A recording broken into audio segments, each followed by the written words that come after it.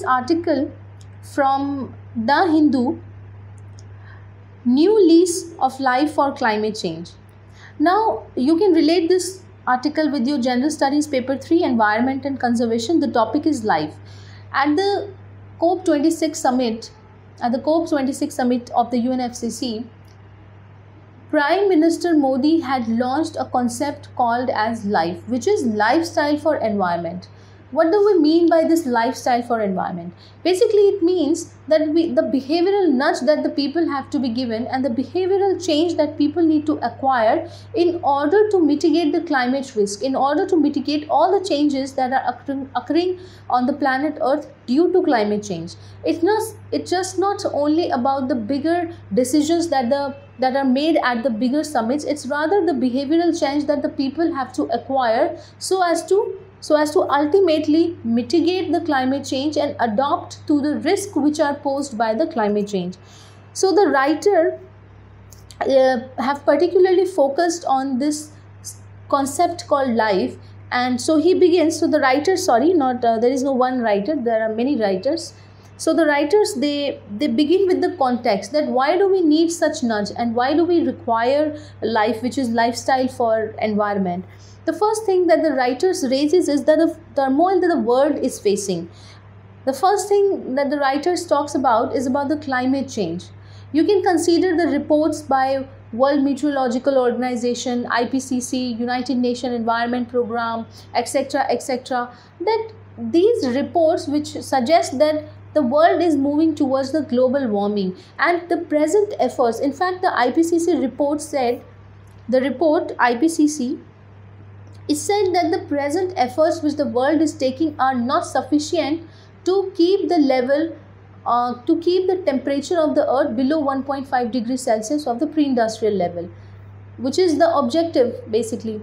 And the steps which we which are being taken by the world country which are being taken by the countries whether developed or developing or least developed countries they are not sufficient However, the lifestyle, which is a lifestyle for environment as proposed by India, has many uh, many references with respect to the accountability and the responsibility that the developed countries need to take uh, need to take.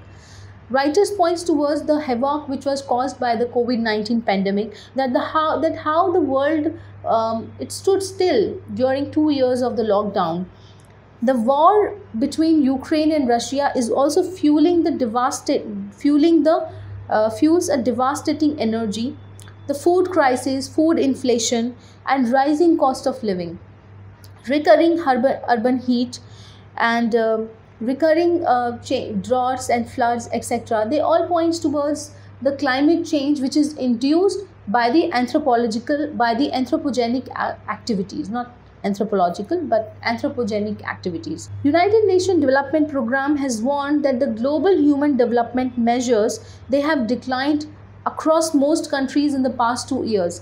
Now if you see that the achievement which were made in order to achieve the sustainable development goals by 2030 we have basically regressed regressed in the past 2 years and this is according to the United Nations Development Program right Writer points towards the triple planetary crisis that the, that the planet Earth is facing. And what are these triple planetary crises? There are three important points that needs to be uh, taken care of. The first thing is the climate change. This is the first crisis that the world is facing. The second crisis is the pollution. Right? In fact, if you consider the air quality index of Delhi NCR, it is still at the poor level, and the uh, and the GRAP, which is the Grading Response Action Plan, stage two has been kicked in. This is in the newspaper. In today's newspaper, it was said the GRAP stage two has been has been uh, has been uh, into action because of the because of the deteriorating quality of the air so air quality index of Delhi NCR is still poor level and it might deteriorate if the proper steps are not taken. So pollution is one reason. Biodiversity loss. If we consider the report by IPCC, then it says that in the past 50 decades, 50% of the 50 percentage of the flora and flora have gone extinct and if we remember then then australian mammal the Austra- an australian mammal by the name uh, i have forgotten the name. I i'm not sure about the name. It has gone extinct and it is considered as the only mammal to have gone extinct due to the anthropogenic activities in the past decade. All right so biodiversity loss is there pollution is there climate change is also there so writer has given context that why do we need life? In such due to such reasons we would be requiring a lifestyle that is pro environment that is pro environment the writer points towards the record breaking heat waves floods droughts other extreme forms of weather. Nine of the warmest years it's not none it's actually 9 all right. So 9 of the warmest years have been recorded in the last years alone. Last 10 years probably. The paris agreement and cop 26 summit they represented urgent need and collective action which is required to mitigate the climate change. Now let's come to the life the right the main concern or the main point of the writer. The life gives a fresh perspective to the to the activities undertaken to mitigate the climate change and to adapt to humanity's sustainability uh, to such changes. All right. It was announced by the Prime Minister of India at the COP26 in Glasgow and it brings a fresh and much needed perspective to the to the actions which are being taken whether we consider the actions like methane pledge and carbon neutrality by 2050 all right for example uk european union etc so they all are going to become carbon neutral by 2050 so what is this carbon neutrality? It means we are going to absorb as much as carbon as we are going to emit. We are going to make it neutral right so but life will give a fresh perspective to such activities it recognizes that small individual actions can tip balance in the planet's favor that means an initiative taken at the personal level an initiative taken at the personal level will contribute will go on to contribute highly to the actions which are taken at the global level. What does life aim at? It aims to cultivate mindful choices when it comes to energy saving, when it comes to resource efficiency, when it comes to the circular economy, when it comes to inducing behavioral change. For example, India banned plastic, single use plastic. By 2022, where there, there will be complete ban um, on single use plastic and also the plastic guidelines have been issued by the fresh plastic guidelines have been issued by the government of India so as to minimize the usage of the plastic and shift towards the better eco-friendly alternatives like jute bags, paper bags, cloth bags, etc. Life can be achieved by deploying nudges. Now, what are these nudges? For example, the producers pay concept.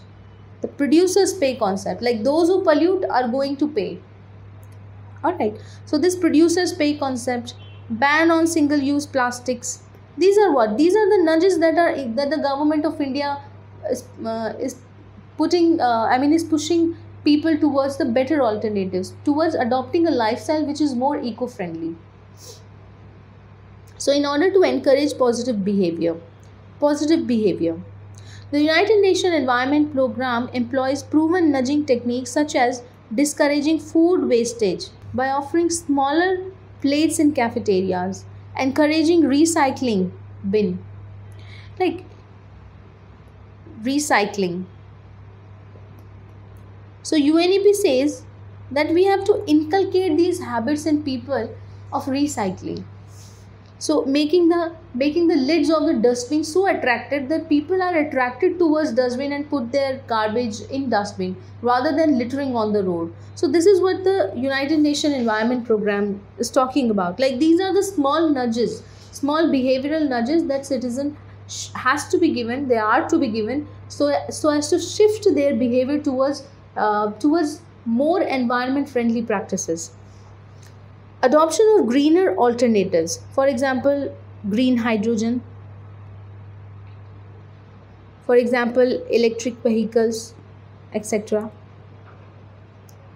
consumption habits. Consumption habits. Now the writer talks about the india's track record. So you see the pm has called for a war to become pro planet people by 2027 the prime minister and the general secretary of united nations they talks about making people pro planet that means adopting certain behaviors which are more eco friendly by 2027 simple lifestyle. Simple lifestyle. Using less water consuming less water. And um, making habits in such a way so as not to pollute the environment small small habits like not using plastics genuinely not just because the government has banned it or just because the government has brought new guidelines or laws but as a matter of responsibility as a matter of accountability which we have towards our nature because this is the only planet we have. So small steps taken at individual le- uh, level would collectively improve the environment and it will lead to a transformational change. Life recognizes the responsibility and accountability and it is relative to the contribution. Now, here the life talks about the CBDR, which is common but differential responsibilities. Developed countries have succeeded in industrialization and now they have reached to a point to basically at a level where further industrialization would amount to pollution of environment only. And still we have got india like developing countries such as india and least developed countries in south africa who do not who face the worst uh, who face the risk uh, of climate change but still they have not contributed enough to cause the climate change. Let's give the example of pakistan. Now General Secretary of United Nations himself said that the Pakistan's carbon emission is not even 1% of the global and still it faces worst threat of global warming. Recent floods recent floods have caused havoc here. India is also in the same position. India has not contributed much to the we will see that what is the track record of India that India is, has also not contributed much to carbon emission and still it faces the risk uh, according to the global risk index. So life recognizes the responsibility and accountability according to the consumption in proportion to the consumption. Emission across the poorest half of the world's population combined still fall short of even 1% of the wealthiest. All right. Now comes to india's efforts towards achieving the achieving the uh, goal of sustainable development and mitigating climate change. Prime Minister Modi at COP26 announced Panchamrit.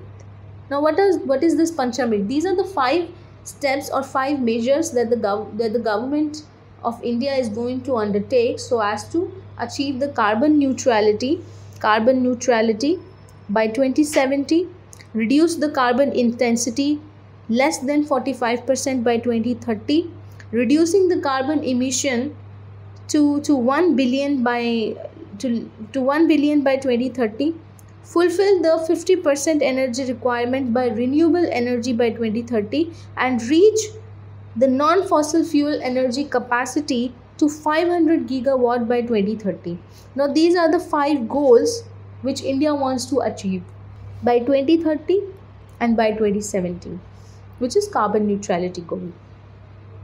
Now let's come to an important concept which is the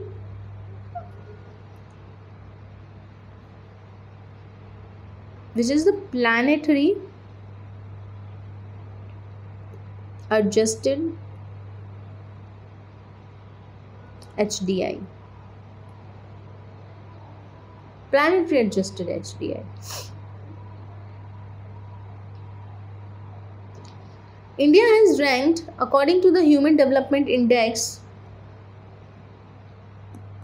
India ranked 131.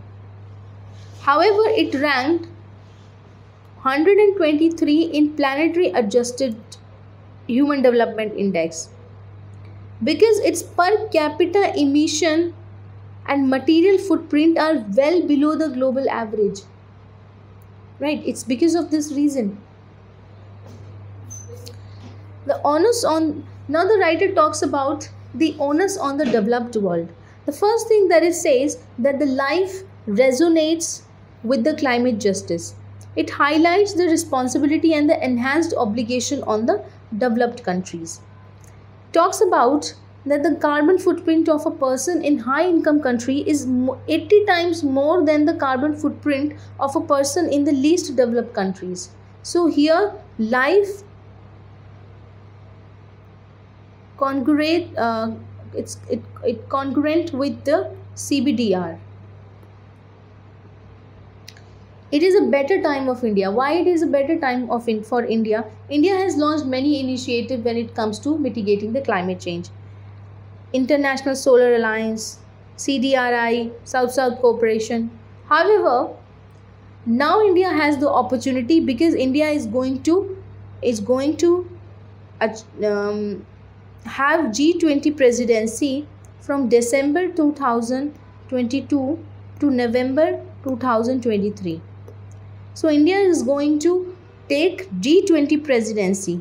So now here you can link with the forest led forest led COP an article you will find this article in the playlist that the writer talks about that how the next COP 27 summit should be focused on the forest so you can relate these two articles and take out the important points for from your uh, for your examination if a exam if a question is asked based on that uh, what what the world can do or what India should do when it comes to um, how relevant the G20 presidency is for India. So you can give these contexts. So if you if you listen to this article and combine with the present uh, with the today's with today's article, you will understand the importance of G20 presidency that India is going to have and also the importance of the importance of the measures that India is taking towards mitigating climate change. All right. So this is what india has. So that's it for today. Thank you very much for watching Tarun IAS